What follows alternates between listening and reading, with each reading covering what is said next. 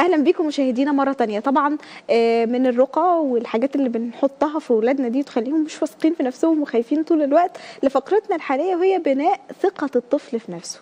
إزاي نربي طفل واثق من نفسه؟ مش بينجر الكلام أي حد يقوله خلاص حتى لو في عنده مشكلة معينة. إزاي يخليه واثق من نفسه من قدراته وقادر إنه يطلع إبداعه؟ ده اللي هنشوفه مع ضيفتنا اللي مشرفانا في الاستوديو دكتورة مسيبه كلال استشاري التربوي. أهلا بيكي معايا يا دكتورة. أهلا فيكي أهلا بيكي صباحك فل. الأول أنا عايزة آه، أفهم نفسي والمشاهدين وكل اللي بيسمعنا يعني إيه طفل واثق من نفسه؟ لأننا بنشوف أطفال كتير موجودين تكلميه الكلمة يرد عليك الكلمة بعشرة. صحيح. ومامته تقول أنتوا عايزين أهز ثقته في نفسه؟ نعم. أنا مبسوطة بابني بيعرف يرد وبيعرف يجيب حقه. والبيت اللي مفروض صايع حقه ضايع فالواد دوت كده واد واثق في نفسه. فمين الطفل الواثق في نفسه؟ هي الثقة بالنفس عبارة عن صفة آه. يعني ممكن نعرف الطفل آه، الواثق من نفسه هو الطفل القادر على التعبير عن ذاته آه. وأفكاره وآرائه ومش ومشاعره وانفعالاته بشكل صحيح آه وأيضا آه هذا الطفل بنلاحظ إنه هو قادر أيضا على تطوير ذاته وإمكانياته بحدود قدراته. بما تسمح به قدراته أيوه فبالتالي بس بعطيكي ملاحظة بسيطة آه الآن يختلف الطفل الواثق من نفسه عن الطفل آه اللي بيكون عنده شوية وقاحة نحن بنقول. لأن في التعريف آه مثل ما لاحظنا بشكل مناسب للمجتمع الذي يعيش فيه أيوة. عندما يعبر عن ذاته بأسلوب صحيح يعتبر طفل واثق من نفسه عندما يعبر عن مشاعره أحيانا بطريقة غير صحيحة لا يعتبر هذا من شكل من أشكال إنه هو واثق من نفسه. ربما تدخل أحيانا في آه، جانب آه، الوقاحة حقيقة. يعني بعض ال- المستشارين التربويين وعلماء النفس بيتكلموا ان الطفل أصلا بيبقى عنده مقدار كبير من ثقته بنفسه. وإحنا في أول سنين خاصة أول سبع ثمان سنين من عمر الطفل يا إما بنغذيه بإنه الثقة دي تزيد عند الطفل اما إحنا بنكون السبب في إن آه، الطفل دوت يطلع بعد شوية مش واثق بنفسه. صحيح. أنا ممكن أكون في سبب إنه آه، طفلي مش واثق في نفسه إزاي؟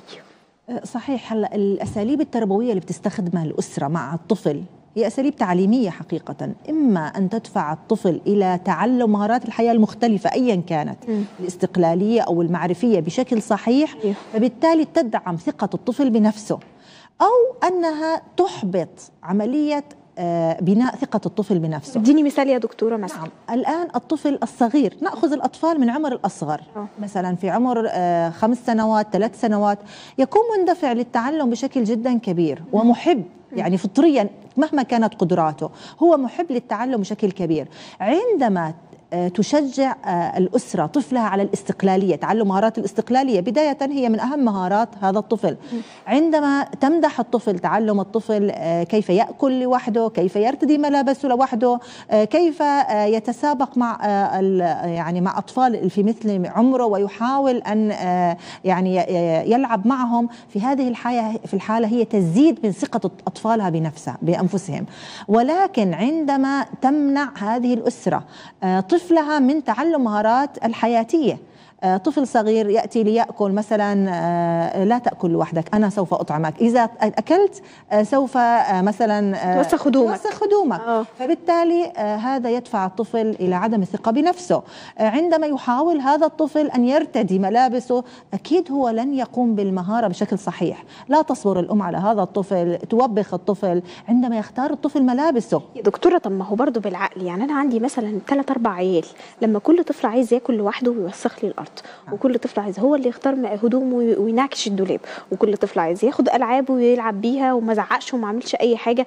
أنا كده اللي هفقد ثقتي في نفسي. لا لا هي في الحقيقة بالعكس الصحيح أنه عندما أتعامل بأسلوب صحيح مع أبنائي في الحقيقة آه، ما بتتعب الأم. العكس هو الصحيح لأنه سوف يكتسب المهارات الحياتية بسرعة أكبر فبالتالي سوف آه، يعني تتفرغي أنت للأصغر. يعني طفل الخامسة يستطيع أن يأكل لوحده ولو أنه آه، وسخ قليل. ولكن شيئا فشيء سيتعلم الاعتماد على نفسه. فبالتالي تتفرغي أنت للأصغر. ولكن عندما تعاملي جميع الأطفال بأنهم لا يستطيعوا أن يأكلوا لوحدهم يغسلوا أيديهم لوحدهم آه، يرتدوا أيضا ملابسهم لوحدهم سوف يتجمع لديك عدد من الأطفال غير قادرين على الاعتماد على أنفسهم فتزيد آه، مسؤولياتك. طيب. فبالتالي الأم هي أكبر آه، يعني معون للأبناء ببناء ثقتهم بأنفسهم بطريقة استخدام الاستقامه لأساليب تعليم صحيحة طيب خلينا نكمل مع حضرتك الموضوع ده لأنه مهم جدا ولكن معانا تقرير بيتكلم على بناء ثقة الطفل في نفسه نشوفه ونرجع نواصل معاكي كلامنا هل تعتقد أن مسؤوليتك نحو أطفالك تقتصر على التربية وتوفير الاحتياجات الأساسية للحياة؟ بالطبع لا، فبناء الثقة لدى الطفل بداية من مراحل حياته الأولى تعد من المهام الأساسية لدى الأهل لإنشاء طفل سوي نفسياً. يحدث الأمر تدريجياً نتيجة أحداث ومواقف وردود أفعال صحيحة تتوحد جميعاً لإكساب الطفل ثقته بنفسه. لكل طفل شخصيته المتفردة، فلا تقارن طفلك بالآخرين حتى لا يشعر بالدونية. ركز على نقاط القوة والتميز لدى طفلك بدلا من التركيز على أوجه القصور لإشعاره بالثقة والقبول. استمع لما يدور في عقل طفلك حتى النهاية ولا تقاطعه، فالطفل في حاجة للشعور بأهمية رأيه. إياك وربط حبك للطفل بما يقوم به من أفعال، قدم له حبا غير مشروط، وكن مصدر دعم وأمان لا مصدر تهديد. لن تكون بجانب طفلك للأبد، فلا داعي للمبالغة في حمايته والخوف عليه، شجعه على خوض تجارب جديدة وراقب من بعيد لتعزيز ثقته بنفسه في التعامل مع الآخرين. طيب دي بعض الخطوات اللي ممكن أعملها عشان الطفل يكون واثق في نفسه. طب أنا عايزه أعرف ابني ده واثق في نفسه ولا لأ؟ خصوصا إن الثقة في النفس بتبان بشكل قوي في مرحلة المراهقة أو المرحلة بعد ما تخلص مرحلة الطفولة على طول بيبدأ يبان بقى الطفل ده بي بيمشي ورا أصحابه ولا لأ هو مؤثر ولا بيتأثر والكلام ده. ولكن قبل كده أقيس إزاي إن ابني طفل واثق من نفسه؟ هي عبارة عن صفات مثل ما قلت لك. حقيقة يظهر الطفل الواثق من نفسه في قدرته على التعبير عن مشاعره. نجد أن هذا الطفل يأتي إليك ويتحدث لك عن مشاعره. أنا أحب وأنا لا أحب. عندما تقول له ارتدي مثلا هذه الملابس يقول لك أنا أختار هذه الملابس أو هذه الملابس. وهو في الحقيقة يجب على الأم أن تضع لديه مثلا ثلاث خيارات. ترتدي هذا أم هذا أم هذا. أيضا هذا الطفل بتلاحظ أنه يحب التواصل مع الآخرين والاجتماع بهم بهم. أهم صفة للطفل الواثق من نفسه هي تكوين صداقات اجتماعية مع الآخرين. فبالتالي نعزز بناء اجتماع صداقات اجتماعية مع الآخرين عن طريق مدح صفات هذا الطفل. أنت قادر على أن تلعب مع الأصدقاء بدون أن تحدث مشاكل. تعلم طبعا الأم كيفية اللعب بطريقة صحيحة كيفية الاستئذان كيفية التعامل مع الآخرين. ثم تشجع أيضا على التواصل مع الآخرين. أيضا هذا الطفل قادر على تحمل مسؤولياته. بمعنى عندما يحضر من المدرسة تكون لديه مجموعة من الواجبات من أي صفوف حتى من الروضة. يجلس طبعا الأطفال في الغالب لا يحبوا أن يجلسوا للدراسة ولكن الأم تشجعهم عندما تجلس في البداية معهم. أوه. إلى أن يتعلموا هذا السلوك شيئا فشيء تسحب هي مساعدتها لهذه لهؤلاء الأبناء. نجد أن الأبناء يقضون وقت في تحمل مسؤولياتهم الدراسية. أيضا يتفاعلوا مع الآخرين. بشكل صحيح. يعني حتى المشكلات السلوكية والانفعالية تنخفض بشكل واضح مع الأطفال الواثقين من أنفسهم. صحيح. مشكلة الخجل لا نجدها لدى الطفل الواثق من نفسه. لماذا؟ لأنه تعلم مهارات عديدة. الطفل أي شخص عندما يتعلم مهارة هو يحب أن يعرضها على الآخرين. فبالتالي كلما تعلم مهارات أكثر كلما زادت ثقته بنفسه. إذا وسيلة بناء ثقة الطفل بنفسه هي التعليم. كلما تعلم الطفل أكثر مهارات مختلفة كلما زادت ثقته بنفسه وأصبح قادرا على التعامل مع الأشخاص الآخرين وحبهم. دكتور أنا قرأت أن في في واحدة من الدراسات أن الأم اللي بتقضي وقت فعال أكتر مع أطفالها بتربي أطفال واثقين أكتر من نفسهم. فعايزة نقف على صحة الدراسة دي وفي نفس الوقت يعني إيه أقضي وقت فعال مع ابني يخليه طفل واثق من نفسه. طبعا هي دراسة صحيحة يعني دراسات عديدة وليست دراسة واحدة تؤكد كلما قضت الأم وقتا مع الطفل طبعا والأب أيضا. م. كلما زادت ثقة الطفل بنفسه. الأم عندما تقضي وقت مع هذا الطفل هي تقضي وقت في تعليمه سواء عندما يساعدها في أعمال المنزلية. هو يعني صح يسبب لها شوية مشاكل ولكن في الأخير تزيد ثقته بنفسه آه أيضا عندما تجلس يحكي لك امبارح عمل إيه؟ كب اللبن كله على الأرض وجاي يقول لي ماما أنا عملت مشكلة كبيرة. أيوه شوفي أيضا تعلمه كيفية حل مشكلاته.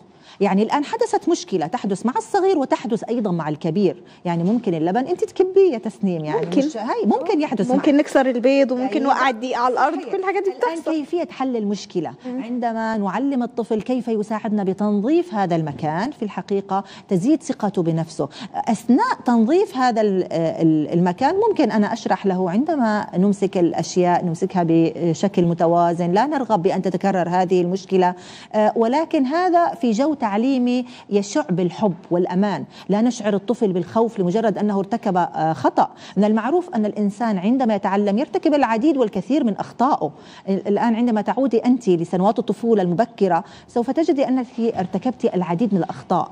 عندما يتعامل الأهل بحب مع أخطاء أبنائهم ويوجهوهم بحكمة في هذه الحالة تتطور ثقة الطفل آه، بنفسه. إذا أيضا عندما آه، تجلس الأم مع أطفالها لتقرأ لهم. منذ أن يكون صغير. تقرأ لهم قصص تنشد معهم أناشيد. يتعلموا قيم أخلاقية واجتماعية مهم مهمة جدا لهم في التواصل مع الآخرين ولتطوير أنفسهم أيضا.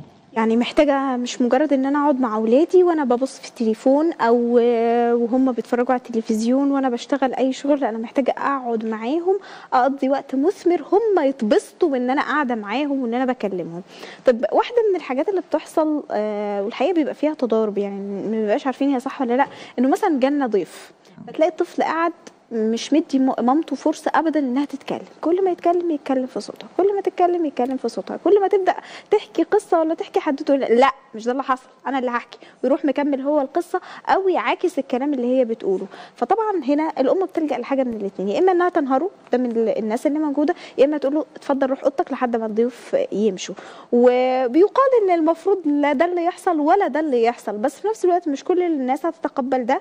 آه، الناس هتقول على ابني مش متربي أو بنتي إنها مش متربية أنا عايزة أعلمه يكون واثق من نفسه بس في نفس الوقت مع مراعاة قواعد المجتمع وأصول ال- الأداب العامة. إزاي أعمل التوازن ده؟ تسنيم تؤكد الدراسات العلمية أن المهارات الاجتماعية هي من أهم المهارات للأبناء آه يعني نحن دائما بناخذ إنه ذكي الطفل وبيعرف كثير أشياء لكن في الحقيقة عندما يكبر الطفل لن يستفيد إلا من المهارات الاجتماعية بشكل أكبر من المهارات العلمية الأخرى. فبالتالي المهارات الاجتماعية تعلم للأطفال منذ الصغر مجيء ضيوف لعندي. هو يعني فرصة كتير كبيرة للأم كيف تعلم ابنها التعامل مع الأشخاص الآخرين. قبل أن يحضر الضيوف ممكن أن أجلس مع طفلي وأشرح له آه، آه، أداب الحديث. آداب الحديث يس- يستوعبها الأطفال منذ أن يكونوا صغارا. هذا لا يعني أنني بعد أن أشرح لأبنائي وأتحدث معهم عندما يحضر إلي ضيوف سيكون ال- ال- الطفل هو يعني آلة مستجيب لجميع تعليماتي. في الحقيقة أيضا الطفل محب أن يعرض إمكانياته مهاراته وقدراته فليس من المعقول أن تحضر مثلا صديقة للأم وطفلها عمره خمس سنوات تجلس هي لتتحدث وتسعد مع صديقتها لمدة ساعتين وربما ثلاث والطفل هو آلة ساكت جامد ما بيتحدث. في الحقيقة هذا ضد هي بتريح دماغها. بقى في الآخر وتروح مدياله التليفون. لا وهذا أيضا يعني لا يصح. ال- الصحيح أنني أشغل ابني بايضا ألعاب مناسبة أو أقول للضيفه أن تحضر معها طفلها بحيث يلعب الأطفال مع بعضهم وأنا أيضا أقضي وقت ممتع. الأم الآن عندما تنجب طفل أصبحت هي شخصين وليس شخص واحد أنا عندما أبحث عن سعادتي لابد أن أبحث أيضا عن سعادة أبنائي. اولا ممكن أنا أقول للضيفة أن تحضر ابنها معها بحيث يصبح هناك مجال للتنفيس آه، النفسي لابني يتواصل مع ابنها. أيضا ممكن أنا أعطيه مثلا تلوين رسمه تلوين معينة ي- يعني آه، يتابع بها هذا الطفل. اذا أنا لابد أن أفكر في ابني قبل أن أفكر بنفسي خاصة عندما يكون صغير أشغل وقته بما يفيد أثناء انشغالي. هذا اولا. أيضا اعلمه الآن عندما أتحدث مع صديقتي من الممكن أن أقول له انتظر لأنتهي من حديثي وسوف تتحدث. أنت أيضا بما ترغب وأيضا لابد أن أذكر نقاط القوة الموجودة عند ابني. مثلا حفظ آيات من القرآن الكريم. أقول لصديقتي استمعي له. هو الآن يشعر بثقة بنفسه أنه هو أيضا لديه شيء يقوله. ففي هذه الحالة هنا دور الأم. هل هي آه، تمدح الطفل وتشجعه وتعلم وتوجهه بشكل صحيح أم أنها آه، تقول له اجلس في غرفتك وبالتالي لا يتعلم مهارات اجتماعية مهمة له في الحياة؟ برضو من من الحاجات اللي بيقولوا إنها بتهز ثقة الطفل في نفسه هي فكرة الحب المشروط. انت لو عملت كذا أنا هحبك لو ذاكرت هحبك لو لو مثلا ما وسختش المكان أنا هحبك. فالطفل بيقول طيب لو أنا عملت العكس في دماغه يبقى ماما مش هتحبني. صحيح. الموضوع ده فعلا صح. طب ما إحنا كلنا ب يعني ب بدون قصد بن بنقول لاولادنا الكلام ده. بس هذا كتير آه، يعني حقيقة خاطئ في التربية. الحب المشروط أحيانا الطفل عندما يحاول أن يتعلم مهارة- مهارة لا ينجح.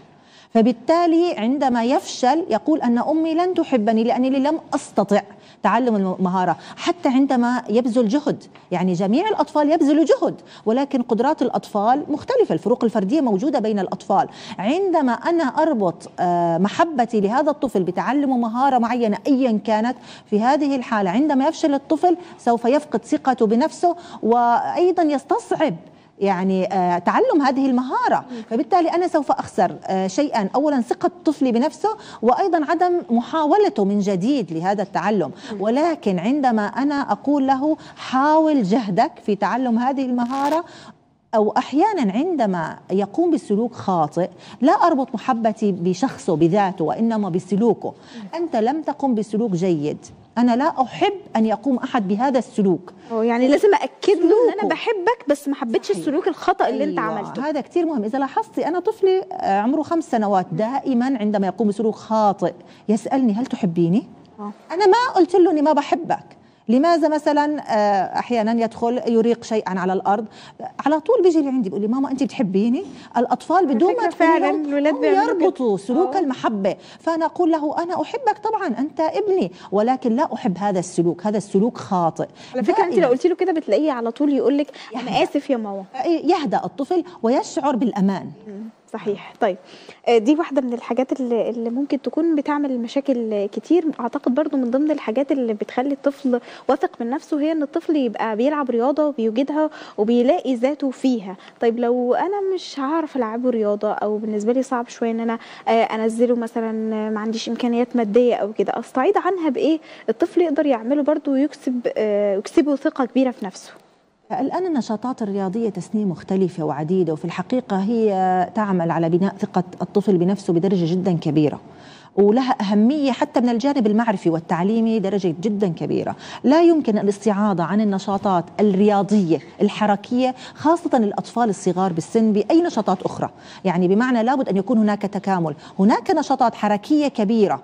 وهناك نشاطات أيضا حركية صغيرة ولكن لكل منها دورها في بناء ثقة الطفل بنفسه. بمعنى لابد أن يكون لكل طفل هذا حقه آه، أن يتعلم مثلا رياضة السباحة رياضة ركوب آه، آه، الدراجة مهمة جدا للطفل أيضا المشي مع الطفل لعب الكرة. هذه رياضات بالذات للذكور مهمة جدا لأن لحد عمر ست سنين تعلم الطفل يكون عن طريق الحركة. فنحن نعلم الكثير من المهارات عن طريق الحركة. لا يمكن أن نستعيض عنها بمهارات اجلس في مكانك وسوف أعلمك. هذا غير صحيح. طيب ال- الحاجة ال- الأخيرة المهمة جدا اللي بيتعرض ليها الأطفال دلوقتي للأسف وعمالة تزداد هي فكرة الت- التنمر من شكله التنمر من طريقة مشيته من ضحكته. بنشوفها كتير قوي خاصة مثلا لو إحنا في مجتمعات عربية تلاقيهم بيميلوا أكتر للطفل اللي واخد ملامح أوروبية مثلا أو ال- الطفل اللي عنده قدرات مثلا معينة ممكن يكون الطفل لسه في سن صغير ما بيعرفش يوجدها. في الحالة دي لو الطفل اتعرض لحاجة زي كده هزت له ثقته في نفسه أو بتتقال له كتير أو بيسمعها وبتتردد من العيلة أو من الأقارب الناس اللي هم المفروض أصلا بيعززوا ثقته في نفسه. أقول له إيه؟ واتعامل أنا كأم إزاي مع النقد اللي بيجيله على حاجة هو ملوش ذنب فيها؟ وإزاي يحول النقطة ال- ال- اللي من وجهة نظر المجتمع عيب عنده لحاجة آه، تزود ثقته في نفسه؟ الآن صورة الذات لدينا في الحقيقة تتكون لدى الطفل في سنوات عمره المبكرة ف آه، وأهم من يرسم صورة الذات هي الأم. عندما آه، دائما تشجع الأم طفلها وتركز على نقاط القوة الموجودة لديه مهما كان شكله مهما كان اختلافه حتى لو كان عنده مشكلة في شكله هو لن ينظر إلى هذه الصورة لأنه في الحقيقة يأخذ صورته من أمه. ما هي العبارات التي تمدح بها الأم؟ عندما تركز الأم على قول أنت قوي أنت تستطيع أنت ذكي آه، فهي بالحالة ترسم صورة ذات الطفل في نفسه. في هذه الحالة الطفل يأخذ صورته من الأم والأسرة طبعا حتى بشكل كامل فبالتالي تتطور صورة ذات إيجابية عندما يخرج ليقابل هذا المجتمع. حتى لو الكلام ده اتكرر كتير انت بتلاقي مثلا الأم ي- يشوفوها يقولوا لها إيه ده؟ بنوتك طالعه شعرها كيرلي لمين؟ بنوتك طالعه سمارة لمين؟ الكلام ده متكرر جدا. نعم. ثقة الأم بذاتها تنعكس على ثقة الأطفال بأنفسهم. عندما توقف هذا التنمر أو هذا التمييز الأم في أو بدايته دائما تركز على نقاط القوة الموجودة لدى ابنتها. عندما يقول المجتمع للأسف هذا يحدث ابنتك سمراء دائما تسارع إلى تقول فتقول هي ذكية هي مثلا تحفظ القرآن هي متميزة في دراستها. أو هي مثلا آه، لديها قدرات جسمية تلعب آه، تسبح بشكل جيد. فدائما الأم هي أيضا قادرة على وضع حدود لتنمر المجتمع بشكل عام سواء في المدرسة أو في ال- الصديقات. فتركز دائما على الصفات الإيجابية الموجودة لدى هذه البنت. في الحقيقة هي قادرة على رسم صورة إيجابية لابنتها أو لابنها مهما كان لديهم نقاط ضعف. إذا هم يستمدوا ثقتهم من الأم. عندما تكون ثقة الأم بنفسها قوية تمنحهم لأبنائها أيضا ثقة قوية يستطيعوا أن يجاب يجابهوا المشكلات الموجودة لدينا في المجتمع لأنها لا تبني فقط صورة ذاتية تبني أفكار. عندما تبني أفكار صحيحة وإيجابية في عقول الأبناء في الحقيقة لن يستطيع أحد أن يقف في أمام هذا الطفل لأنه بني بشكل قوي. فهو يستطيع أن يصمد أمام أي التيارات. طبعا هذا الدعم النفسي الذي تقدمه الأم ليس في فترات العمر الصغيرة. أيضا عندما يكبر ويتوجه إلى المجتمع هي دائما معه مستمرة بدعم آه، الصورة الذاتية أو الأفكار الإيجابية. عندما تحضر ال- الفتاة لديها وتقول لها أنا سمراء دائما تناقشها فتقول لا أنت قوية أنت ذكية أنت تستطيعي الاستفادة من قدراتك سوف تغلب الجميع بمثلا ذكائك أو بالمهارة بأفكارك الإيجابية في هذه الحالة هي تستطيع أن تزيد ثقة ابنتها بنفسها. أنا بشكرك شكرا جزيلا دكتورة نصيبة جلال. الاستشاري التربوي الكلام مهم جدا ورائع. ربنا يفتح عليك ويزيدك من فضله. شكرا جزيلا ليك شرفتينا. آه، مشاهدينا الأم هي سر العظمة وهي المفتاح اللي بيدي للطفل ثقته في نفسه. أكيد طبعا الأب بس لأن طبعا الأم بتقعد فترة أط- أطول مع أطفالها. فممنوع أنت تتنمري على ولادك أبدا. ومعلش الولاد محتاجين صبر ومحتاجين آه، طولة بال. بس في الآخر هم ولادك بدل ما تنفقي كل ده لما يكبروا هم فاقدين الثقة بنفسهم. اصرفيه بشكل أقل في أو أكتر شوية في سنوات عمرهم ال- الأصغر وهتبصي تلاقيهم إن شاء الله بعد كده عندهم ثقة في نفسهم وعندهم حب لكل حاجة آه، بتعمليها معاهم. اديهم حب غير مشروط وصبر وطولة بال وادعي لهم من ربنا سبحانه وتعالى يجعلهم صالحين مصلحين. اللهم آمين.